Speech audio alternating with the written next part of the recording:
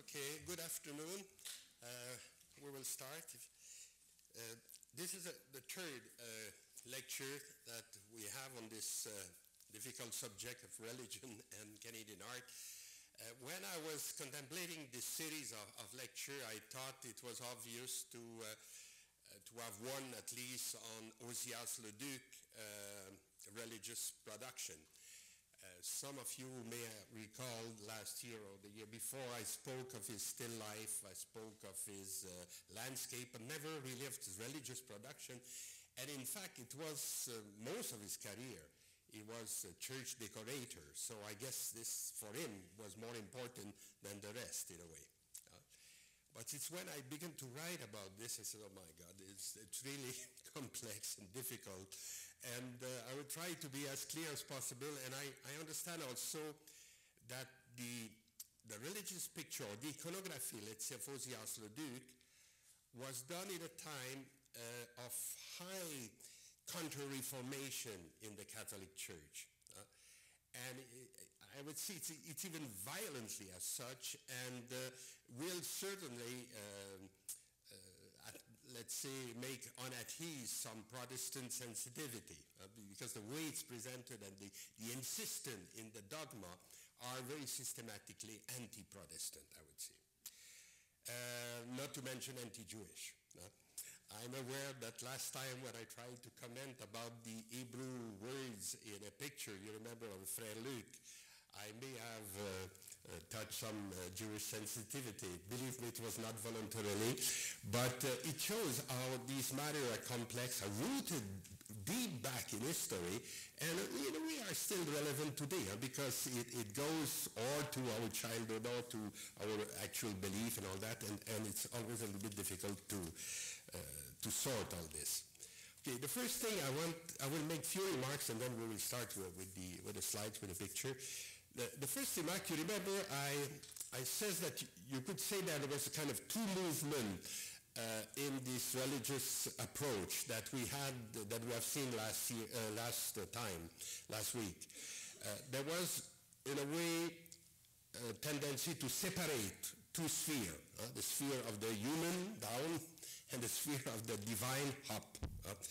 and in the first painting I show you of the how France brought faith to the Huron people, it was very clear. You had a scene in heaven, and then it was repeated in a painting, and that way they showed clearly, let's say, the separation between both.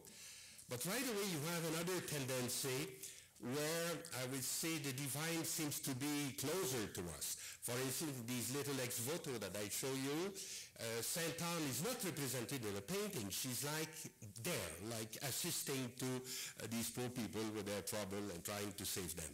Uh, so you have these two movements. There's one of separation, if you want, and the other, of course, uh, in the country of the rapprochement.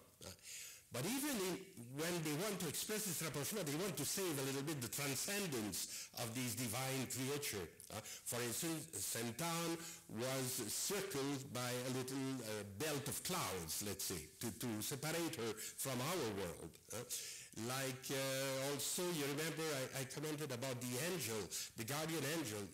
even when they go back to the story in the Bible, they never go as far as not to put him with wings. Even Rembrandt, uh, was the more realistic one, who make uh, an angel so sweet and so believable that he, even without without this it will be perfectly okay. But no, he maintained that because, again, okay, you may speak of a rapprochement between the divine and the human, but you have to save some uh, some aspect of transcendence. And why it's so important in, in, in terms of the, I would say, the Christian uh, sensitivity on this, it, it is because Christians believe in the incarnation of God. Uh, this is the first dogma, that uh, the Son of God came in human shape. Uh, so then, of course, you collapse uh, the divine with the human.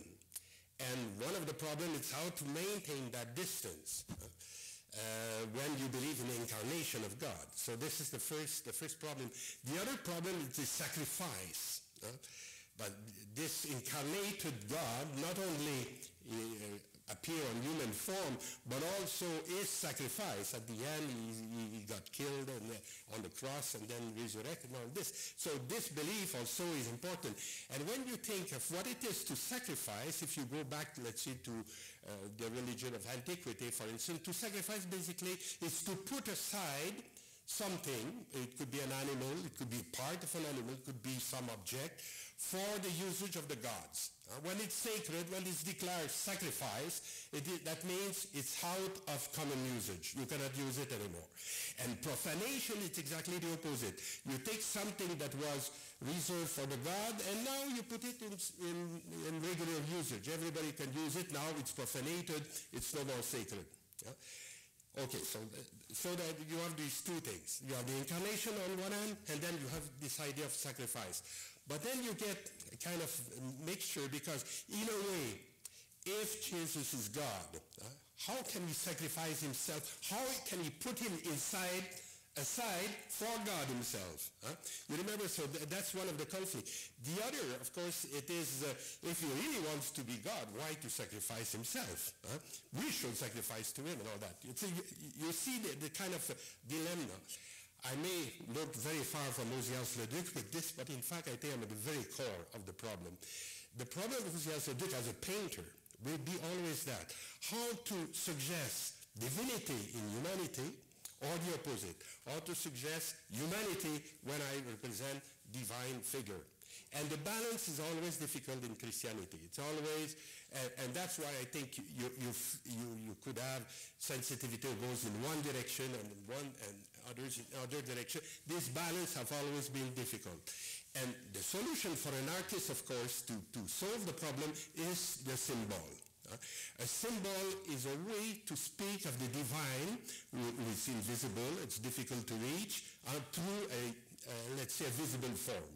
Uh, and, uh, and uh, of course, uh, Ozias Leduc will be very much involved in this symbolism and you will be very interested by this aspect and you will see how from painting to painting how he tried to solve uh, uh, the, this problem. How to divinize, if you want, the human or how to humanize the divine. That's exactly the, the, the, the crux of the matter.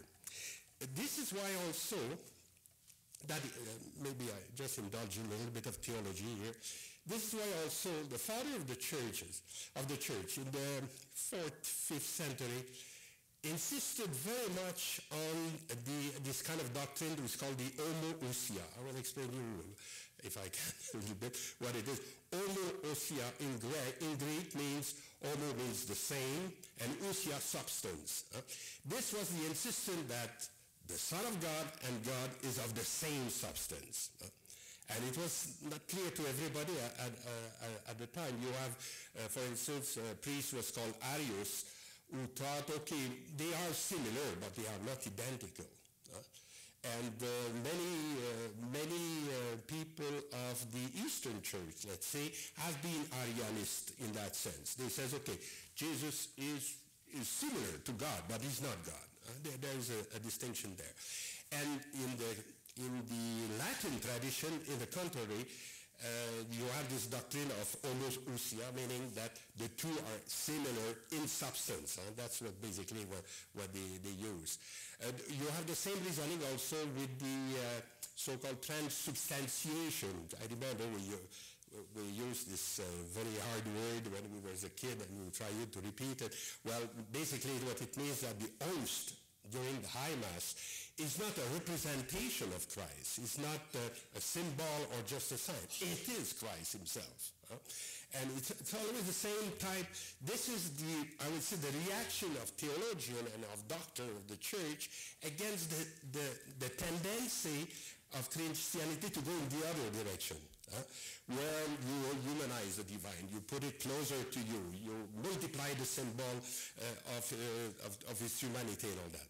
And, and let's say the, the, uh, the magister or, or, the one who defined the dogma will resist to that. Will say, well, be careful. Don't go too far in that direction. After all, we're speaking of God. We're speaking of something transcendent, different from us. And, and you see, so, you know, this is exactly the type of problem in which uh, the iconography of uh, Ozias Leduc we will have to deal with. I will proceed. I will show you a few examples of his work because he, he worked all his, all his life on these themes and uh, he, he, died very old, so there's a lot of churches who have been illustrated by him. There's one that has been restored recently and it was close to Montreal. It's in Joliette and it's a parish, it's called St. Charles Borromeo and uh, since 1905, I think the, uh, the church has been uh, named a cathedral. And uh, recently they have restored a painting uh, that are on the ceiling uh, you see one example here, and I put aside a little detail of the, the little putti there, uh, the little angels on the side. And of course, it's a representation of the Assumption of the Blessed uh, Virgin Mary. The program of Leduc there is relatively simple to understand. It's based on the uh, so-called mysteries of the Rosary.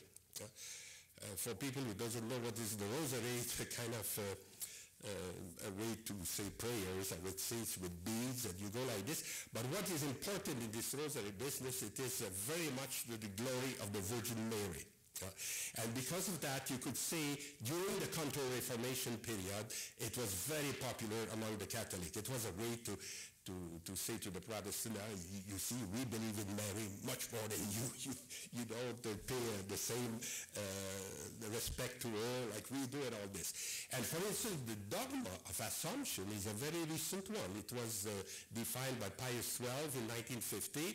So it's, it's, it was traditional in the church, I say, to believe that after death, the Virgin was uh, carried like this in heaven, like you see here.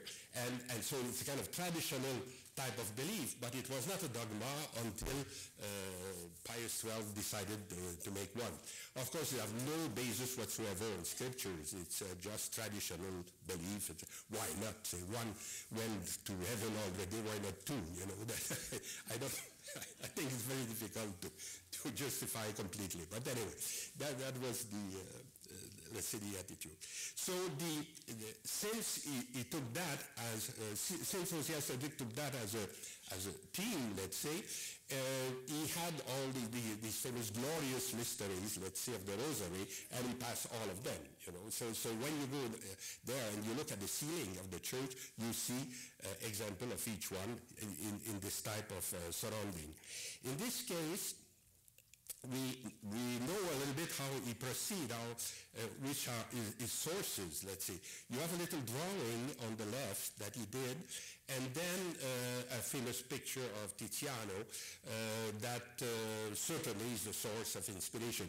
Okay, he suppressed uh, all the apostles uh, in, the, in the bottom of the picture, and also got the Father on the top here, and uh, reduce uh, this chorus of little, angel, little angels to only two with a crown. But if you remember the, the actual painting, even this uh, detail has, been suppressed, as if he start from a very famous model and then reduce it to his uh, usage uh, there.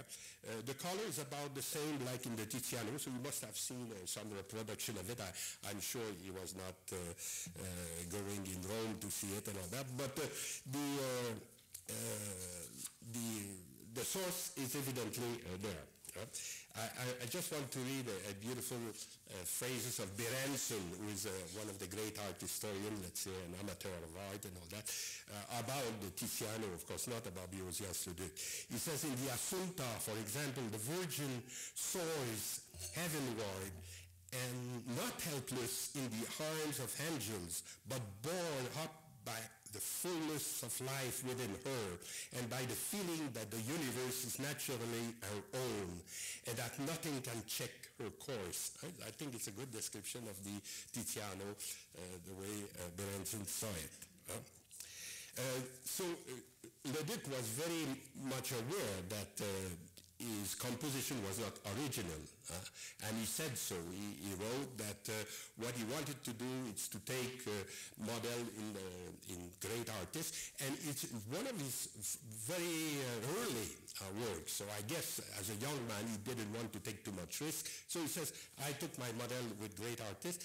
He says the only invention I try to do is to harmonize the color of all of that. Of course, when you work uh, on 15 teams, they said differently in the same church, you have a problem, of course, of organizing the color uh, of it, and he did. This is will be his contribution here. Uh, uh, this is another uh, example of the same, uh, related to the same church, except that here you don't have the actual painting, but rather a sketch uh, that uh, prepare a view of the resurrection. And if you notice, we see a little bit this kind of square lines Uh, that uh, is used by painters when they want to inflate uh, their design. That's what we call a mise uh, in which you, you, put these squares uh, on, on, a drawing and then you could enlarge it as much as you want when you are on the wall. So this is a study of, of, the resurrection. Um, in a way, what uh, did here, it's a kind of synthesis of many texts. Uh, as you know, the real witness of the resurrection of Christ are, are, the soldiers who were supposed to be there to guard that nothing of that kind will happen. Huh? So they were sleeping apparently, and then suddenly they, they lose track of him, and he was he was no more in the tomb and all that. Uh, this is this is what the scripture tells us. And then after the day after, the two uh, holy women, the uh, Mary Magdalene and, and Mary, uh, the mother of, of, James, came to, to see what happened, and then they saw the angel. Uh, but Christ was no more there. So it's a kind of synthesis, if you want, of two different texts in the gospel that uh, is quite traditional, that you find very often uh, in, in, the tradition, and that uh, uh, Ozias tried to do. So what you see, you have here the, the soldier who are put a, uh, back completely, falling on the ground on one end. And here you have Mary Magdalena on the other side, and the angel who is sitting here on a kind of square uh, stone. Uh, the gospel mentioned that he rolled the stone. So normally it should be round. It should not be square like this. And, and Christ is already uh, anti-gravitationnel. You know, he's uh, going uh, like this. It's a way to, to show also this idea of of, say, when I was speaking of divinization of the human, uh, one of the things that make us human, of course, is our weight, uh, especially me. and, uh, and the, uh, to be without weight, it's a way to, to suggest that. but all this is, is quite traditional also uh, in this. So this is another of the decor of Joliette that you could see if you go there. It has been recently restored, and I just want to make a little apartheid with very, very uh, different uh, work, like Piero della Francesca, for instance, uh, when he treated the resurrection, I think he did it closer to the text of the gospel uh, because what you see is only soldier and Christ putting his feet, let's say, uh, on the, the edge of the tomb and getting out like this. And he make also in the background a kind of position between a dead tree and a living one as a kind of a suggestion of the passage from death to, to life. And uh, traditionally, uh, people, uh, well, art historians think that the face of this sleeping guy there was the face of Piero della Francesca himself. But, but here you see in the tradition, let's see in the, uh, in the Renaissance, you have a painter probably wanted to be closer to the text uh, than our Ozias Leduc. And in, in between, of course, you have centuries of uh, of reass reassessing this type of image and transforming them as we know them now. Uh, just an apartheid about the restoration of these uh, of these uh, picture in Joliette. They were done by a firm who's called Le Gris Conservation, or whatever. And among the painters worked for them and to restore, let's see the color of, uh, because it was quite fade out and it was also very dirty at certain time. One of the problem with Catholic Church is you have a lot of uh, wax burning there and, and wax makes a lot of uh, uh all the candles that they are there, it's a dirt, the picture with time, especially if they are varnished and then it's, it's stick in the varnish and it, you have to clean this after. And one of the painters who was uh, working with them was Guy Pellerin. And Pellerin is known as a kind of very abstract painter of, uh, of uh, today. He's a young man, and, he, and habitually his presentations are done like this. It's, it's just monochrome uh, picture. You have only one color on each one, and they are installed. He will make, for instance, a little uh, shelves here, and we put all of the extra that we just saw before. Uh, now, Pellerin is a kind of interesting fellow, but uh, very, uh, very different uh, uh, type of, of work, of course. The second church that I wanted to mention, decorated by Ozias Leduc, is the Church of Saint-Hilaire. Uh, and Saint-Hilaire, as you know, well, it's, uh, it's now a place near Montreal, about 40 kilometers from here, and uh, it's the birthplace of both Borduas, who was a pupil of Ozias Leduc for a while, and of Ozias Leduc, of course. this is the little uh, a little painting done by Borduas that show you the church that I want to show you after. Um, he painted that in 1933, so that means exactly after his return from France. You know that Borduas went for a few years, uh, two years and a few months, uh, in France to study sacred art uh, with Maurice Denis. Uh, this is the less likely thing that could happen in the life of Borduas because after he quit the, the church, he quit the religion and everything, become an atheist, whatever, and wrote, as you know, the famous uh, Refus Global, the uh, the manifesto against the church, in fact, against uh, the nationalism of the time. It was very, very hard. And but in, in 33, of course, this is his village, and he, he says that uh, the, the picture of Ozias in this little church was very important for, for him. Uh, it's a text that he wrote about the time in almost uh, one year before the death of Leduc. Leduc saw that text and he says, Merci Paul-Émile pour les gentils mots que vous avez dit sur moi, etc. We have a little letter of, of him. And what, what Borduas says about this church, he says, I already knew about his painting through the tiny church of Saint-Hilaire, which he had profusely decorated. From my birth until the age of 15, these were the only pictures that I ever saw.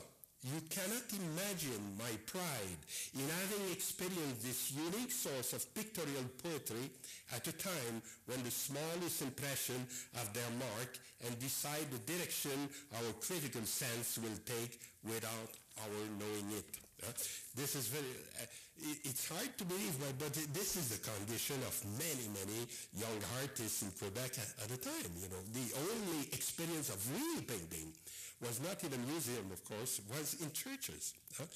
And in, in, the case of Borduas, the fact that this little church was decorated by Ozias Leduc was very important because he became his student, he followed him everywhere, and uh, so, and here you have the facade of the church uh, of Saint-Hilaire, which is a little bit bizarre because it's much bigger than the church behind. If you look on the side here, it's a little bit like uh, the system of uh, some uh, in Texas, you will have that kind of a, a, garage with a huge facade and behind there's almost nothing.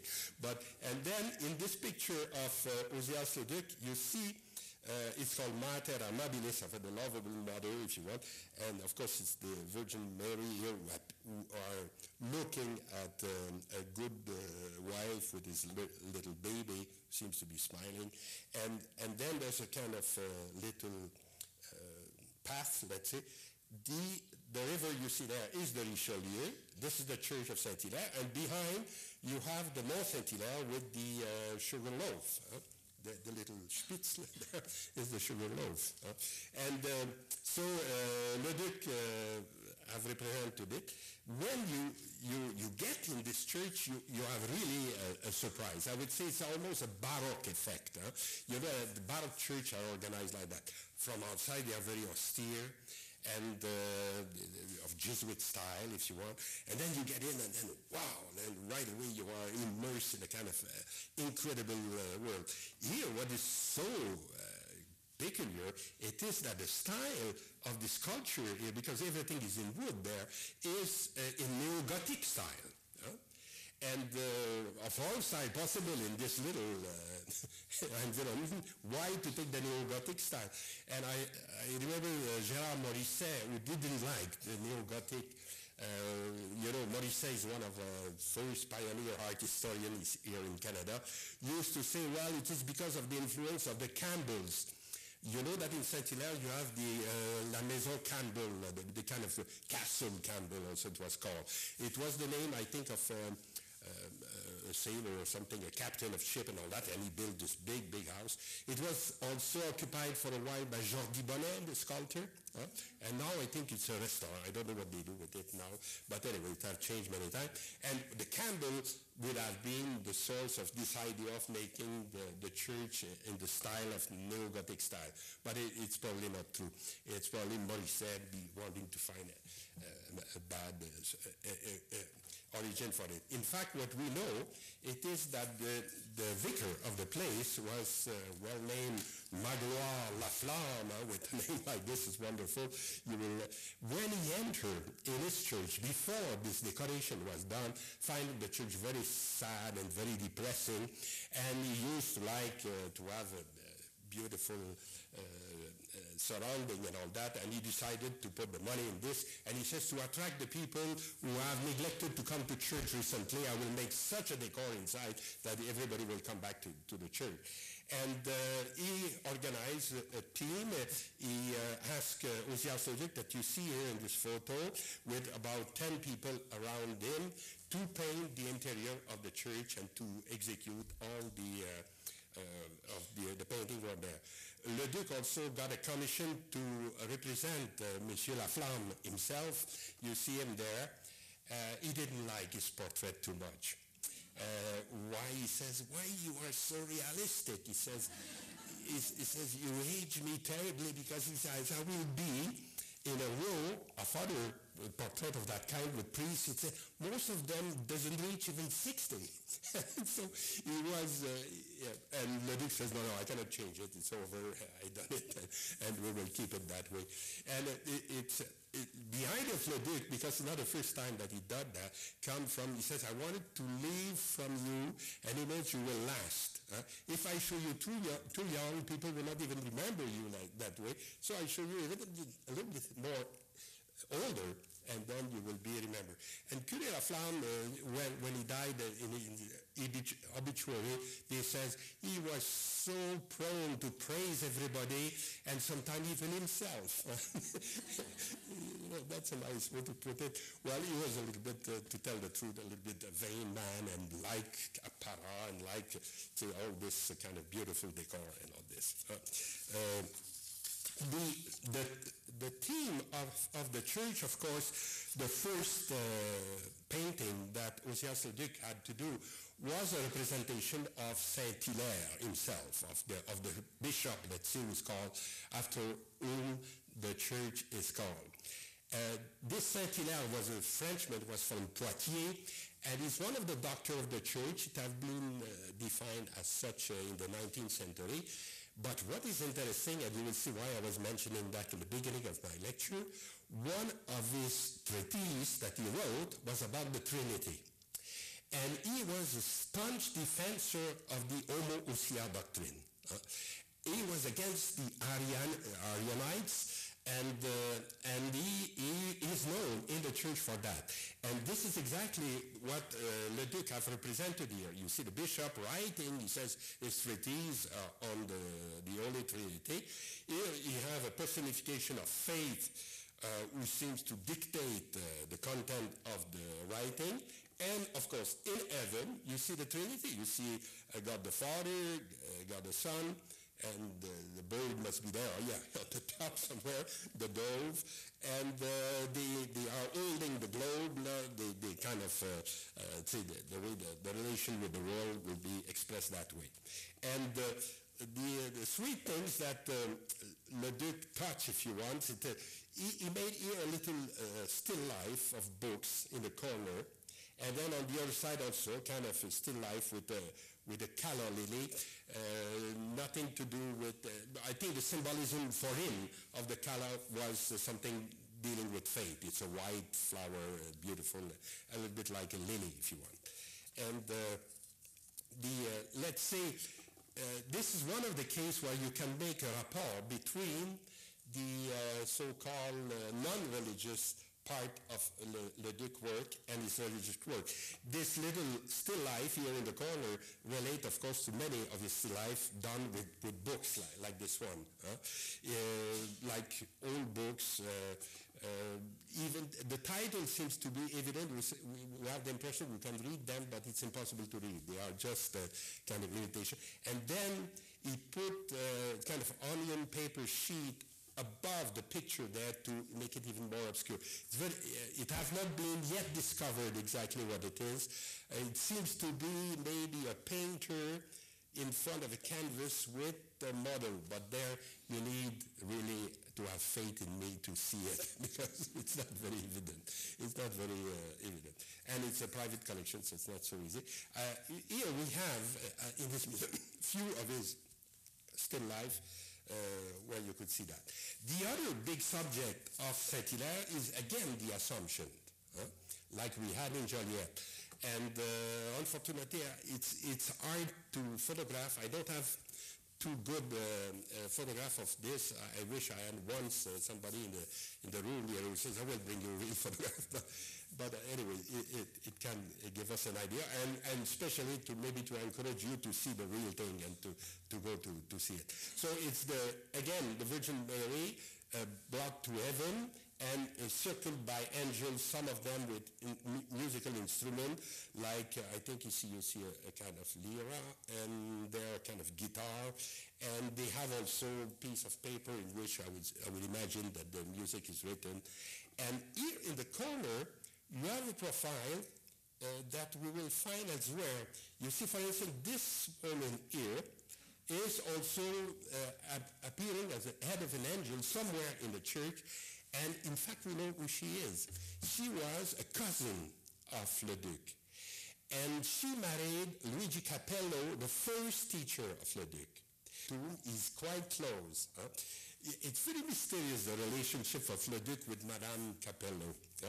Because at a certain moment, Capello turned um, a little bit crazy. He, he went to France and became completely mystical and all that. And he's not yet dead. And uh, then you see in the, uh, the announcement of the time that Madame Capello, veuve, widow. Huh? So, maybe that helped the relationship. I don't know what was the idea. But finally, when the, the old Capello died, they got married and, the, and this uh, Leduc lived with this woman all his life. The, the end of the Virgin is based on the, uh, uh, I would say, the figure of his sister, Ozema. Uh, they have one of the incredible name in this family, uh, Ozias, Ozema. it's not, not very common name, but anyway. And this girl was called Ozema, and you see here, uh, in fact, he wrote on it, uh, ressemblance de ma sœur, Ozema, so there's, there's no problem with that. And then he transformed her with uh, long hair and all that, and he used uh, this face here for the face of, of the Virgin Mary. Uh, here is Ozema, if you want. This is a photograph of her. This is another painting he made of her as a reader, uh, if you want. And uh, it's a beautiful figure of absorption. Re the reading, when, when you show somebody being uh, in the process of reading, you are creating a kind of distance with the spectator.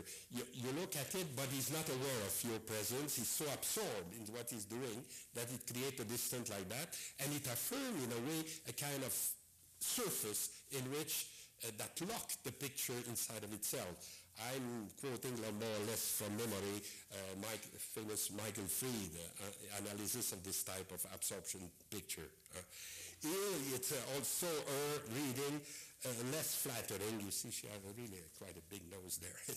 yes, should. Uh, but but again, this is so typical of him to take I want to show you this bridge between his painting, say the, these two styles, because that's exactly the, the, way, the way he was working.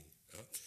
Then what we can do is to try to show, uh, I will do it rapidly because really the, the picture I have are very bad, are, are not uh, are old in a way and they have turned blue with the time. I'm told that with Photoshop I can make miracle, but I don't know how to do it. So, not. so what is the here you have a plan of the church and with little numbers, and around it, let's say, you have the team, the main team that uh, uh, Leduc have uh, exploited there. And the main theme is the sacrament. But the way you treat them, it's through the gospel.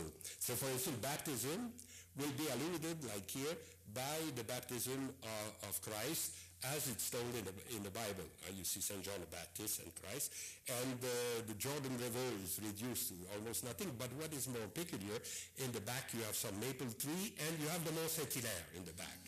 So, so he has uh, put, let's say, the, uh, these famous scene in a kind of more familiar type of surrounding. And this, I would say, the baptism will correspond to 14 here somewhere, if you are in the church. So if you go from one uh, number to the other. Say, for instance, I wanted to show you how you make the Mont Saint-Hilaire. You, you, see it here, and uh, this is a, li- a, little painting of the, the uh, house of the ferryman, was beautiful in which because you see we are on one side of the Richelieu, we see the Mont Saint-Hilaire on the other side with the loaf of bread, and there you see the light coming to this little house there, and uh, early in the morning, and this is of course the ferry that they were using at the time to cross before they built the bridge in Saint-Hilaire. So you, you, we can then again not make a, a, relationship between landscape and religious painting of Leduc. Uh, this idea of making the sacrament as a theme, uh, it's a relatively rare type of iconographic uh, uh, subject. one who have done it before is Poussin. Uh, when Poussin made two series of these paintings in which you have uh, uh, the, the, the, seven sacraments, but let's say I took two, two examples to show you a little bit how it looks. The here the baptism, and it's much more elaborated than what Leduc did, of course, with many personages and all this. And here it is the ordination, is the delivery of the keys to Peter. Uh, this is a scene where uh, Jesus says, uh, you are Peter, and on this rock I will build my church. you remember this, this phrase. And so if, if, we continue with this key in hand, let's say in 13, you will have uh, Jesus in the house of Simon, but then you have to go back to, the, to your gospel to know what is the connection here with sacrament. Huh? Well, it is uh, Mary Magdalena who's very famous now that everybody have read the, the Da Vinci Code. And I will not go into this. But, uh, okay, so then, of course, it's the penance, huh? uh, the sacrament of, of uh, penance that is alluded there because of this, uh, the presence of, my, of Mary Magdalena there. Huh? Uh, if you go a little bit further, you will have uh, in 12 here, the supper at Emmaus, although then it will be the Eucharist, of course, the, the communion, if you want. Uh, further, you have the Pentecost. I think this is in 9. It's here. Okay, the two numbers that I skipped here are devoted to the evangelist. Uh, there's two on one side, two on the other side. So St. Luke and St. Mark and St. Matthew and St. John. And uh, so then after, in 9, you have the Pentecost. So then, I don't know if you remember what, what is the connection with, uh, with sacrament. It is confirmation. Uh, it's a kind of a, the bar mitzvah of the Christian, of the Catholic, let's say. And uh, then here on 8, uh, you have the death of St. Joseph, so let's go with extreme unction, of course, I could imagine. And then you go up there on the 5, I think, yeah, you have the two two evangelists, and then on five you have a representation of uh, Jesus giving the key to the delivery, let's have the keys to Peter, and if you follow his gesture, you will see that the, there is a, a rock in, in, the, in the back there. And this is Saint-Hilaire, of course. Again, this is what we call the, uh, the cliff of Saint-Hilaire, the Dieppe uh, cliff there. And uh, again, it's a kind of allusion to, to the landscape that he knew. Uh, about this one, we know uh, two uh, studies that he made in Paris. Huh? One of them is even indicated like this, because when he decided to make this, this uh, decoration in Saint-Hilaire, he decided that he, he needed to go to Paris to have model and to have people posing for him, and uh, that was not, there was not too many in Saint-Hilaire itself, and even in Montreal at the time. So he, he, he went there. And here it's exactly the same Uh, it's St. Peter and Christ giving him the keys and all that. But uh, as you see, he decided to do it otherwise uh, finally when he was here. Uh, he didn't follow exactly uh, the same type of presentation. And finally, here, of course, in four, this little circle there is where the pulpit is. So uh, then you could not put any painting there. And so finally, in three, you have the marriage of the Virgin. Four, you could guess it, the marriage, sac- the sacrament of marriage. so it's a, like I tell you, it's a kind of a not so frequent type of iconography. Again, very simple, very uh, clear, if you want. A little bit like in Joliette, was based on the Rosary. This one is based on, the uh, Seventh Sacrament. In Saint Romuald of Farnham, the church I want to show you now, the, uh, the intricacy of the iconographic program is much more complicated, and I will not be able really to go in detail in that. Uh, let's see, this is the, the main altar. And you have here the Sermon on the Mount, let's see, on the top there in the circle. And then behind all this uh, complicated sculpture, you have a theme like the glorification of the cross. I don't know if you see it. You have the cross there, and then all these rays uh, going in every direction, and with God the Father is on the top. I should, this is kind of it. So who was the, the, the vicar of this new parish in Saint-Romuald? Monsieur Laflamme. Uh, the same guy, he finished with Saint-Hilaire and then he was named in Saint-Romuald and he remembered that uh, Ozias Leduc did work for him then and he hired him again. Uh, so, uh, but what happened in Saint-Romuald, apparently the, uh, there was a restoration done in the 60s. I should not name the guy, I know his name. and he, he, apparently it was not well done. See, what happened if a, a restorer come in, in a church like that and repaint what is there, and especially with oil, it's very difficult to remove it and to, without uh, uh, making, uh, ruining what is behind. And so some, and so they, I know that the church has made three expertise different at different time, and they asked from the Commission of uh, Historical Monument to get some money for, for restoring the church. They didn't get it yet. They were asking something like seventy uh, to eighty thousand dollars. So I guess it's a, it's a big amount of money. But again, this is a church completely decorated by Ozias Leduc and could be uh, worthwhile to save. What I can show you is some, uh, a, one example, let's say, of a drawing preparatory to one of the decor that you have there. And the theme, again, is a very, very uh, uh, Catholic, very, uh, the coronation of the, of the Virgin in heaven, you see. Not only she, she have the Assumption, she go there, but then she get a crown from uh, Jesus himself with the triangle behind is the Trinity, of her, the, the, the symbol of Trinity. And uh, Leduc explained that he wanted to put here in the back a kind of rainbow. Uh, and the rainbow traditionally, again, is a sign of hope. You remember the story of the flood when the, the, the water recede, then suddenly uh, the, the, Bible says the, the bow uh, appear in the heaven of course, the rainbow, and then God says, I will never make trouble like this like I did. Uh, you will not, not anymore have a flood who will destroy all the animals and things. He, he seems to be peevish a little bit, says, oh, I'm sorry to have made so much mess. And, the, and he, he tell the, the people, this, each time you see the rainbow, it will be the sign that I will, I will. So for, for Leduc, always when you, you, you, you go in his writing and all that, it's always this. He always does this uh, interest in symbolism like this. If I can find something that means hope, okay, it's perfect. I put it in my painting. Uh, and uh, the other thing, uh, so you see how uh, this is the preparatory drawing, this is a photo done before the restoration, so it gives you an idea how it looks in the church. It's like above one of the side altar. When you face, in, uh, when you enter in the church on the left, you have a little altar. You have the main altar in the middle, but you have two on each side, and it's one of the uh, the team above the one on the left. And uh, the other team that he treated was the only family. You remember how important it was in New France and all that?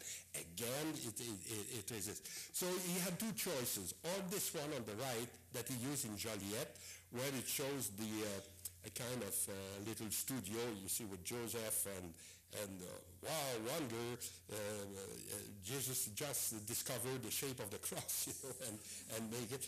And uh, of course, the, the, Virgin Mary is a perfect example of what a woman should do. So just sewing and sewing and sewing. And here, in the contrary, it's a more um, I would say, kind of more mystical type of, uh, of uh, presentation, since they are seemingly floating in midair like this. And you have again the theme of the Trinity. Huh? You remember the, the vertical Trinity and the horizontal one that I showed you last time. And here, well, God the Father is reduced to one finger, let's say to a hand. Here you have the Holy Ghost and finally Jesus. And on each side, of course, you have uh, uh, Saint Joseph and, and the Virgin Mary. And and here in this picture, he put um, uh, kind of uh, peasant, let's say, praying as if they were they had an apparition. And I, I, think this is a good example of what I was saying in the beginning, this humanization of the divine here on the right, and then in the contrary, the divination of the human, uh, to, to put it more mysterious and more strange. And this is, a, the one on the left is the solution that he used in, in Farnham. Uh, fourth example, it's in the uh, in Sherbrooke, and this is a chapel that was done for the bishop of, of Sherbrooke. And uh, of course, then uh, you go to Sherbrooke, you have a huge church. It's called Saint Michel de, de Sherbrooke, and then on the side you have the uh, archbishopric and it's there that you have to go. Don't go in the big church, go on the, on the right side. And there it's a little chapel for the usage only of the bishop and few priests, let's say. So it's very small. But what is so fantastic there, everything there have been done by Ozias Leduc. I mean, uh, the, all the paintings there, even the decoration around the painting. And it's one also one of the first projects where Borduas was with Leduc. And of course, Borduas was 17 at, the time, and he didn't paint uh, important pieces there. But uh, uh you, you have in the journal of Leduc uh, indication like this. I asked Paul-Émile to paint the leaves in the tree. Okay, so a leaf in the tree was done with a, with a stencil. If you want, it's not too hard to do. You put a stencil and you could just go like this, and then you, you deplace them and you make another one and another one. So he, he, had uh, Borduas making kind of menial jobs like this, but nevertheless it was one of their first contribution. And I guess also for Borduas it was one of the first um, perception of what art teaching could be, uh, because it was really a relationship between a master and an apprentice, unlike in the old days. And then when he will go after that to the École de Fine Arts, uh, the Fine Arts School here, you will find it less interesting because then in the school you are many people and you have a teacher who teach you. You don't have anymore this kind of uh, very personal type of, uh, of relationship. Huh? And, and Leduc also was more or less uh, uh surveying his pupils. Eh? Euh, j'ai donné une leçon d'histoire de l'art le soir à Paul-Émile. That Paul-Émile will not go in the evening to, to see girls and things like that. No, no. He, he, gave him from time to time a little uh, history, uh, art, art history lesson. So what I can show you there, because it's very difficult, again, to photograph the real thing, it is, again, preparatory drawings for this decoration at, in Sherbrooke. Uh, and these drawings are all at the National Gallery now in Ottawa, but, but let's say they give us a good idea of uh, what Leduc wanted to do. Here is a very complicated theme. I think because he was in a bishopric and it was a kind of private chapel of the bishop, he indulged in a complicated type of uh, iconography. Uh, it, it's supposed to represent the Virgin as the co-redeemer, or should we say co-redeemer? Uh, uh, I don't know. But, uh, and so she's represented on this, the crescent of the moon there, and habitually, this is a sign that you are dealing with the Immaculate Conception. When you have the little moon there, it's not the Assumption. Huh? The Assumption, she will be just floating in midair. But if she's like this, that means it's the Immaculate Conception. And then she's asso- associated here with Adam and Eve? Uh, that you see in the bottom. They are already partly dressed, let's say, and you see the famous serpent there huh, around the tree. So the tree there is the, the tree of the knowledge of, of good and evil. You have again the rainbow with the hope of uh, getting out of this mess that our first uh, parents uh, put us in. And then on the top, uh, you have uh, this, uh, uh, Leduc always indulge in this kind of symbolism. You have a circle that for him very often represents eternity. You have a scale for justice. And you have this kind of uh, whirlpool there of, of the creation. Anyway, and then these two angels there will hold inscription that will come from the Bible and complete the, the, the, representation. So this is the first painting in this chapel. Then we have another one where the theme is more familiar, except that it's not represented as, as we, we see it habitually. The Annunciation, okay, you have the angel Gabriel who come and tell her that he, you will be the, the mother of God, and the Virgin is there. And behind, this is, according to Leduc, uh, Bethlehem. He was never in Bethlehem. I know that doesn't look like this, but anyway, it's a kind of a, and then behind here, all these vertical things that you see are, there are four of them. These are the representation of the four um, source of water that are mentioned in, the Genesis at the very beginning uh, of these four uh, rivers. Like you have the Tigris, I think, the Euphrates, and two others who are, nobody found them, the Pison and the Gihon. So uh, again, this could be related to baptism also, this, uh, this allusion there. And again, the same type of representation, plus on the top, a symbol, the circle for eternity, the cross, and the Holy Ghost Lord with in the shape of a dove. Uh, uh, third one, this is the uh, Jesus among the doctor. You see the Jesus here with the doctor while put in the dark, he says, uh, because uh, they have discussion. And then in forefront, of course, uh, the parents were very worried about this kid who doesn't appear when he should. And in the, on the top, you have the symbol of the Trinity with the triangle and the cross, and always the same type of uh, presentation, the two angels and the inscription. Uh, and finally, a crucifixion uh, were also, in a way, quite traditional with the Virgin and St. John and Mary Magdalene at the foot of the cross. Here you have a skull, and habitually in the iconography, the skull there is Adam, uh, is the skull of Adam, as if the redemption that taking place there is to save uh, our race. And you see, indeed, you have the serpent against there. Yeah? I don't know if you see it there, with all these uh, spear uh, aim at him. Yeah? And uh, in the top, the hand of God and the kind of laurel, uh, a crown of laurel. here may be the entrance of the Saint Sepulchre uh, that is shown on the right uh, there. So it's a really well thought and quite complicated type of uh, iconography that Leduc thought that he could indulge in because it was a kind of private uh, chapel and it uh, was more difficult to access.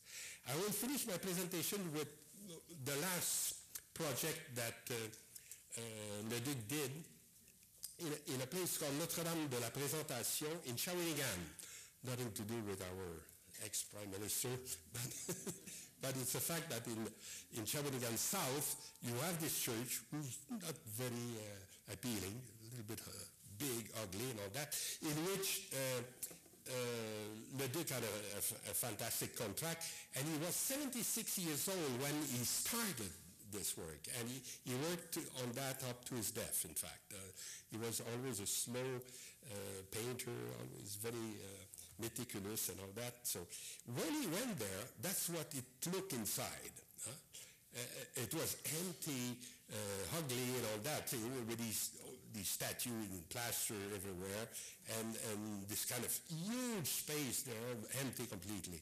And when you go there now, after his work, it's very striking the difference between the two. So he suppressed the little uh, niche that were there, and he painted all the whole background there is absolutely fantastic. It's a huge, huge space. You can you imagine as big as what you see in front of, of you.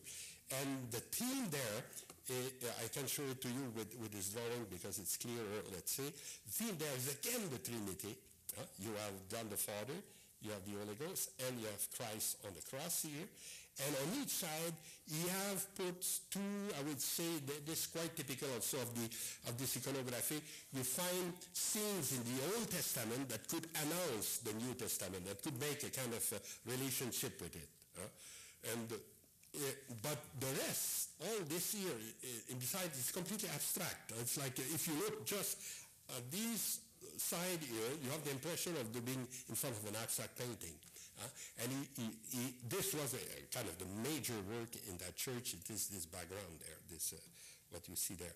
And this is, let's say, two uh, sketches of the two scenes on each side. Uh, you see, this is the one here, and yeah, there's another one there. So in this case, it is the Melchizedek offering. So what it is, why they put that? Because if you read again the Genesis on this, you will see that the offering was from bread and wine. And of course, then right away, the, uh, let's say the Christian doctors at the time saw a relationship with the, uh, with the communion, with the Eucharist. And on the other side is the more traditional scene also of uh, Abraham and, and, and Isaac, uh, the sacrifice of Isaac, uh, who has always been uh, put in parallel with the, the death of Christ. Uh, so you put that on each side, and then in the middle, this, this Trinity. But what is more even astonishing is the rest of the decoration. If you go in the, if you go in the church, not what we see when we enter, but if you look on the side, you have this representation of the people of the region, uh, in a way. And he chose four uh, main uh, subject that could be close to the, to the people. For instance, certainly the lumberjack, because you are in the north and you have a lot of wood there, and also, as you know, one of the big industry of Shawinigan is paper. So wood will make sense there. And so he made um, a kind of, uh, I, I, thought always that the, the arm of this guy is a little bit long, but but maybe he's in the swing cutting the trees so he needed. But uh, anyway, it's the, lumber, the, the settler, if you want. And on the top, you have all the instruments that he will use when the forest will be destroyed. Huh? You will need a, a plow and, uh, and this instrument, I don't know what is the name. Uh, in French, we say the S uh, to, to clean the, the, land. And also even here, this is the, the uh, thing you put on, on when you have a bull. How do you call it? A yoke, yeah, yeah, exactly. So he put uh, uh, uh, on the top, let's say, what, what these people hope to, to, to use. Uh, when they will finish with the forest, they will be able to transform it. Uh, and then the second scene is about the sorrow, uh, which again, it's typical, but there he could make a relation with some religious symbol like wine and wheat, and then of course the, the Eucharist. With the sorrow, he was closer to his to a subject. But it's astonishing to see that in a church, huh? because you could expect a scene like that done, uh, let's see, in the context of a museum or something, but it's really uh, the four main painting in the, on the side, uh, uh in the transept, you see these, uh, these scenes uh, coming from, I would say, everyday life. Huh? Then he went to subjects who are more specific to the place, like I think is what we call a grinder's loader. These people are putting logs of wood in a machine that will uh, transform the wood in pulp uh, and then will be used to make paper. And of course then right away what paper will means in terms of religion, of course the Bible. Uh, so you put a Bible in, a print, uh, to a printing uh, machine. And on the other side, I think it's pa- papyrus. You see the papyrus? I think it's that. Uh, well, the first form of paper, if you want, in the antiquity. And finally, the, uh, the last scene I have, uh, I will show you how he proceeds. It's about al- aluminium, uh, because this is another aspect of the region, of course, metal smelter. And you see them, they, they are working here. And he had even Monsieur Nadeau there to pose for him in two photos to, to see exactly how they work. But he didn't take, in one of his sketches, you could find a relation between, but not in the final painting. And one thing he didn't do and he didn't understand, when you put metal like that, you better use a pad like the, this guy is using, you see, because you will burn yourself completely. This is very hot things. That's why they are dressed like this, like the big, uh, the big myth also they have, you see, are reduced here almost uh, naked hand and all this. Well, he took some liberty. And then on the top, well, you have metal things. You have a lamp, you have an anvil here, and you have a lira on this side. I don't know if it's a but, but then you could say in the, this project of humanization of religion, I think this is the, the where he went further. Uh, when he put in the church things will be in a way to, to give meaning and to give uh, a certain transcendence to these uh, quotidian gesture uh, of these people. And the parish Notre-Dame de la Présentation is a worker parish. It's a, a rather kind of poor uh, area of Shawinigan, and uh, in which uh, suddenly, well, they, they, they, are presented like this. The people were proud of this. Now they, they have transformed the church as a kind of, I would say, almost a touristic uh, uh, spot. You could visit it, and it's well, well explained, organized, and everything. Uh, that probably one of the rare thing of that nature in, in this surrounding. And so when you, you reflect about his, his um, commitment to this type of themes, you see that uh, this is exactly one of the, I would say, the difficulty of this iconography, to, to bring some uh, true symbolism, to bring some uh, perception, let's say, of another world, but on the other hand also to humanize all this, to bring it closer to us. Huh? But not so much close that you will lose this transcendence. This, and this is very typical of, it's one of the big issue of Christian iconography, because as I told you, I think in the beginning, of this dogma of the incarnation and the, the sacrifice of Christ and all that, it, it's so linked to that that we, I would say all the way, we had always this type of uh, unbalance between the two sides and how to really solve the problem. So I, I guess this is a, one of the major um, example that we have here in, in Canadian art with this uh, wonderful man, Ozias Leduc. Okay, with this, I finish my presentation of uh, too much Christian things. Next time we will deal with a group of seven a little bit, so it will, it will change our, our mood on this. Uh, sometimes I have the feeling I'm like a preacher like, like a, a vicar. So, uh, so we, will do with uh, a little bit with a group of seven, uh, with theosophy and uh, well, Harris, and uh, you could you could imagine. Thank you. Okay.